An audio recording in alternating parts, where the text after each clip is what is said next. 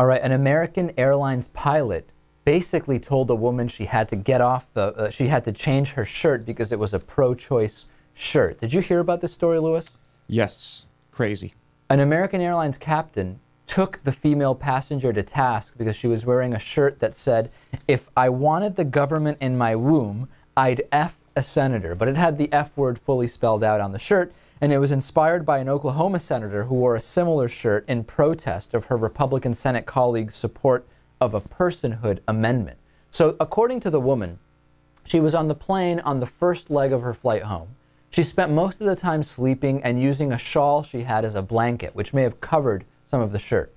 And right before they were set to land, the flight attendant from first class approaches and asks her if she had a connecting flight. She said um, that she, uh, she, the woman assumed it was because they were running slightly behind, and the flight attendant wanted to make sure she would be able to get the flight.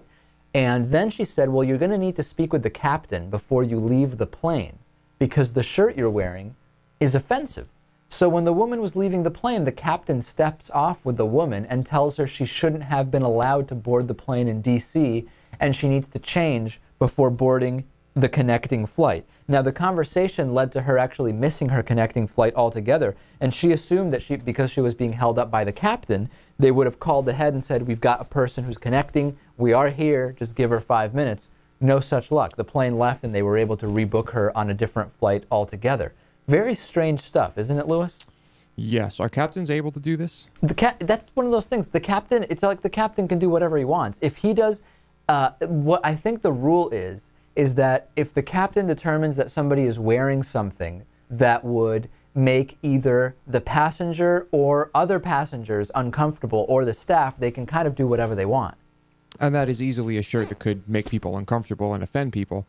I mean, are, are we certain that uh, that the pilot was was doing this because of his views on the issue? Well, that's the thing. We don't know that. Yeah. However, I have a feeling if we, I, I think the problem we're getting into is that the shirt had an expletive. Right. Okay. Because if you had a, sh- the people are saying if, if it was a shirt that just said "choose life," the captain wasn't going to have a problem with that. Or even Well, if F was in, uh, you know, the, the symbols like F, and then three and then symbols. three asterisks. Yeah. I think that might have gotten the same response, but I wish we could actually say for sure this was because it supported women's rights to choose whatever medical procedures make sense for them. However, because it had the, the expletive on there, I'm not comfortable just going and saying, "Look at what's going on here. American Airlines captains are instituting a anti-abortion policy."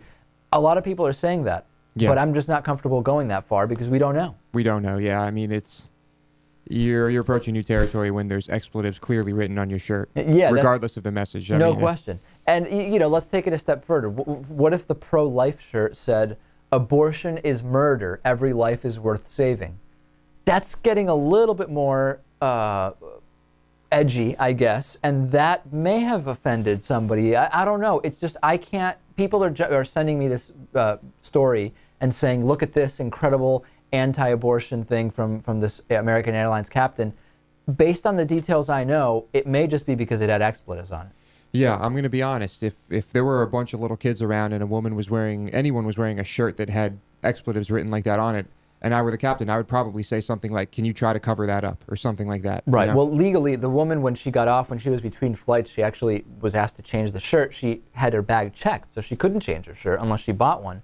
So she asked a, an attorney friend of hers, apparently she called or was traveling with an attorney or friend, and said, if I turn this inside out, is that legally the same thing as changing the shirt? And the attorney said yes. Um, and I guess she just covered it up with the shawl or, and or turned it inside out, and that was that. All right. Well, we can't uh, we can't be certain about anything here. I, I would love to be able to point out if we are seeing this type of, of uh, editorial bias by American Airlines captains, but based only on this, I can't say that. Let's take a break. Facebook.com slash David Pakman Show. We'll be back to talk to Ray Comfort after this about his anti abortion movie comparing abortion to the Holocaust. Stay tuned.